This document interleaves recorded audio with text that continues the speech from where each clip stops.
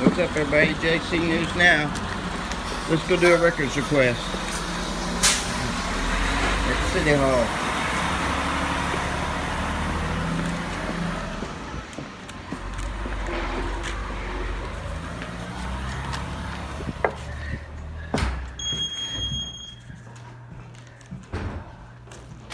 Hi. Hi. Oh, I'm fine. I'm here to pick up some requests and do another one.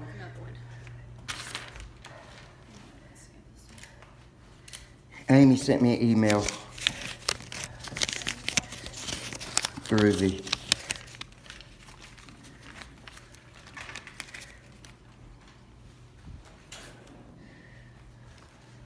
This is a great city hall, y'all.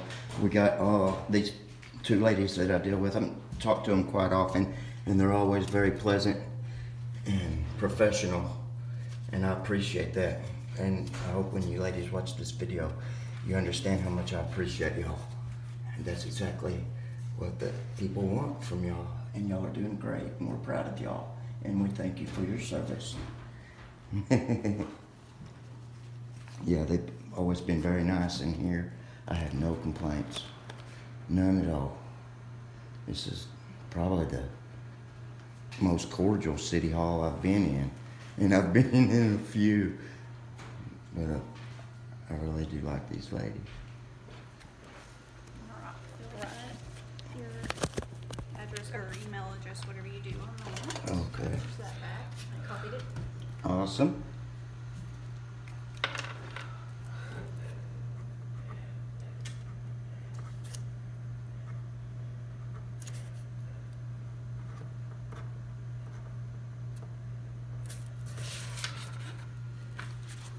And then on this one, it is seventeen thirty Seventeen dollars. and thirty cents, yes. It's supposed to be free. Just have her send it to my email.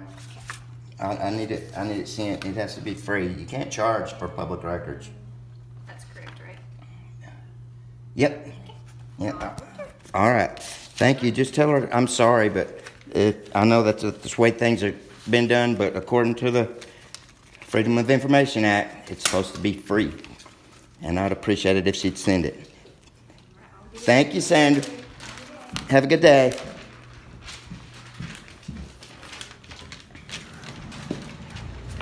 All right, y'all, you see, they're charging for public records here, and you can't do that. That's why I want it done electronically, because it's free, and you need to think about that. Hug a tree. See that flag? It means something. It's got to be free. It's freedom of information. It's in the uh, it's in the name. Free. Freedom. All right, let's go see what we're doing in here. That's it for this one, y'all. Hope everybody has a great day, and I hope you have a reason to smile. With that, I'll say peace.